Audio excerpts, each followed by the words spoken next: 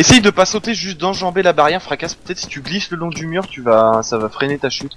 Risqué hein, quand on connaît la physique de Harvard. Des vieilles théories de merde. C'est parti, you Ah, attends, tombe pas sur moi, tombe pas sur moi. Rip. Ah, ah bah non.